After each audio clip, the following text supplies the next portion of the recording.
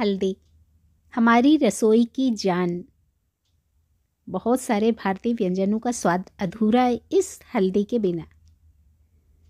हल्दी नहीं तो लगता है कुछ भी नहीं। ढेर सारे गुड़ों से भरी हुई ये हल्दी हम सबके किचन में मिलेगी, मेरी, आपकी, सबके किचन में। ढेर सारी आपकी सुंदरता भी बढ़ाती ये हल्दी, आपकी बाहरी सुंदरता से लेके आपकी आंतरिक सुंदरता, यानी कि आपकी हेल्थ को बनाए रखने में इस हल्दी का महत्वपूर्ण योगदान।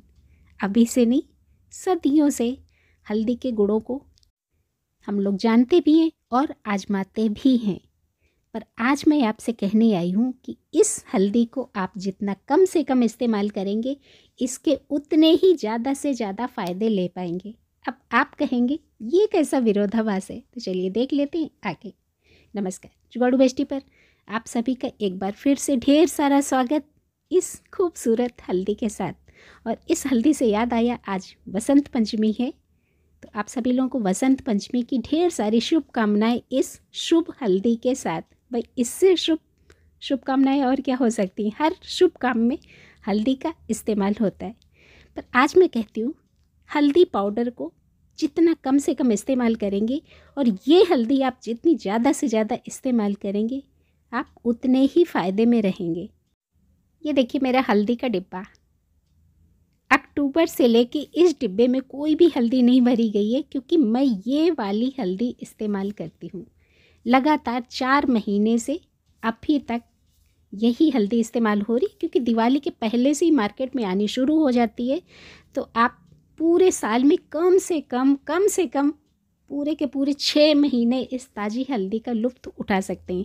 आप चाहें तो पूरे साल लुफ्त उठा सकते हैं इस हल्दी का। अभी तो फ़िलहाल बहुत मात्रा में आ रही है और बहुत सारे लोग अपने गमले में भी उगाते हैं। दस दस, पंद्रह पंद्रह किलो हल्दी हार्वेस्ट भी करते हैं।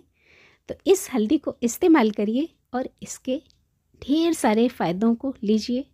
जो कहीं ना कहीं हम लोग मिस कर देते हैं अपने हल्दी पाउडर में।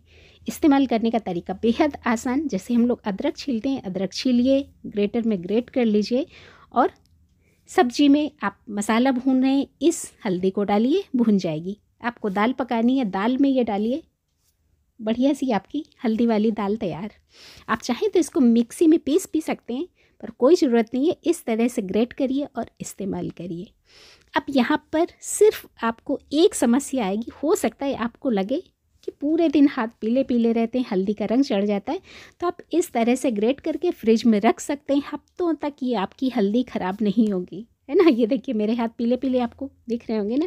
पर अपने स्वाद के लिए, अपनी सेहत के लिए और इस हल्दी की शुद्धता पाने के लिए इतना तो प्रयास आपको करना पड़ेगा। एक बार आप ग्रेट करके रख लीजिए। हफ़्ते तक फ्रिज में चलेगी बार बार आपको हाथ पीले करने की ज़रूरत नहीं है। बस जब आप इसको फ्रिज में रखेंगे तो इसका कलर थोड़ा सा डार्क हो जाएगा गुड़ों में कोई कमी नहीं आएगी। तो बस आपसे यही कहने आई थी कि इस ताज़ी हल्दी को इस्तेमाल करिए। आप चाहें तो पूरे सालों साल इस ताज़ी हल्दी को इंजॉय कर सकते हैं। वीडियो अच्छा लगा तो लाइक भी करिए और सभी अपनों की सेहत के लिए वीडियो को शेयर ज़रूर करिएगा। मिलती हूँ अगले वीडियो के साथ, तब तक के लिए धन्यवाद।